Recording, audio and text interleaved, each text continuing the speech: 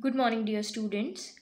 In the previous class, we began with the topic of voice, active and passive voice. And we were thorough with the introduction of that topic. We gathered why do we need voice in grammar? How do we change it from active to passive? About the subject and object being at each other's place. Now, in this video, we will be taking up the table that you can see on your screen. Now, as for this table, we will see the treatment of each sentence in each tense of active voice. How we will be changing a sentence of a particular tense to passive voice and what is going to be the difference in treating the statements from various tenses. Now, see, we begin with making this table. We will make this table with rows and columns where, is, where we will put the headings simple, continuous and perfect. And in the columns, we will put the heading present, past and future. When we cross these, we will have present simple, present continuous, present perfect. In the next row, we will have past simple, past continuous, past perfect. And in the third row, we will have future simple, future continuous and future perfect tense. Now these are eight tenses. These are nine when we cross the blocks. But I hope you can see a cross in future continuous. So the sentences of that tense cannot be transformed to passive voice. And remaining 3 out of total 12 tenses which are perfect continuous of present, past and future can also not be transformed. Hence, we have 8 out of the 12 tenses where we can change the voice. Coming to the first one, present simple. Let us take example. I play cricket. When we change it to passive voice, we will bring cricket which is the object on the subject position. Cricket is played by me. How did we change these? See the rules below. I told you we will be using verb be in any of its forms. So in present simple tense, that form will be is mr, depending on the singularity and plurality of the subject.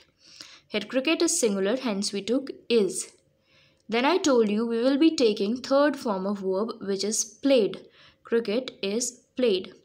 Then I told you we will be using preposition by and the subject in active voice will become the object in passive voice that is the interchange of subject and object the fourth rule here like this we change the voice of the statement in present simple tense moving on to present continuous tense. With the example again he is playing football. Bringing football to the subject position using is as the form of be. But it's not just is that we will be using here because that is what we also used in present simple.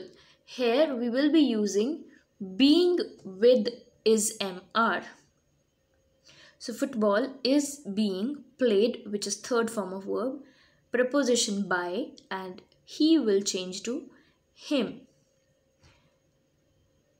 now seeing the rule form of be is mr plus being Third form of verb, use of preposition by and subject object change. Now you will notice one thing when we move on to present perfect tense and other consecutive tenses that the four rules that are mentioned in each block out of those three are same for each tense only first one where we have the use of helping verb or use of form of be is changed for every tense. So that is what you need to primarily notice. But I would still like you to note down the second, third and fourth point in each block so that it fits into your conscious brain. I want you to repeat it all eight times. Moving on to present perfect tense, taking the example, he has done his work.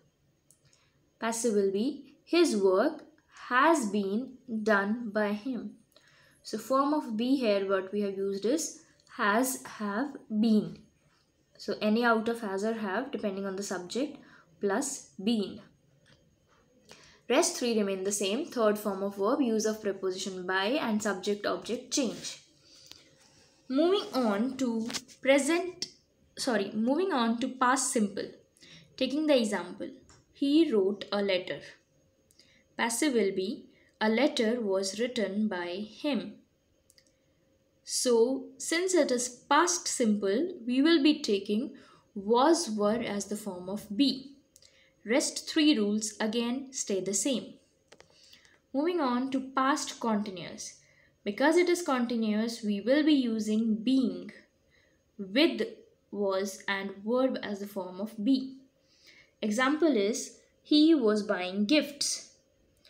Changing it to passive, gifts were being bought by him. Now this he is changing to him or I is changing to me.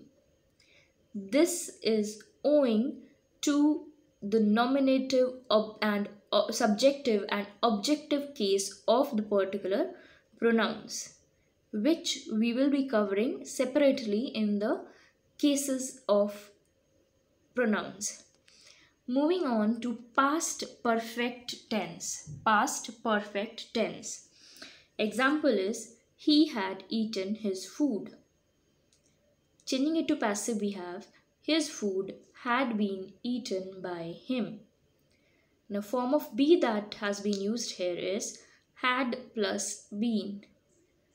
Rest three rules remain the same. Third form of verb eaten use of preposition by and he coming to object position and becoming him. Moving on to future simple tense, the example is she will help him. Answer is he will be helped by her. Form of be that we have used in simple future is will, shall plus be. Also, we have used the third form of verb here with the use of preposition by and bringing she which was the subject to become the object with the word her. I told you future continuous tense we will not be changing it to passive from active. Moving on to future perfect tense. Example I will have read the story. Changing it to passive, the story will have been read by me. Now rules are form of be that we have used here are will, shall plus have plus been. Third form of verb use of preposition by and subject becoming the object and object becoming the subject. With that we cover this table which explains the change of voice from active to passive depending on each particular tense. And as I had already told you, only these eight tenses we can change the voice. That's all for today's class. In the coming class, which will be the third and the last part of this topic, we will be covering a minor branch under this topic. Till then, be thorough and prepare your notes as per the classes till now. Thank you.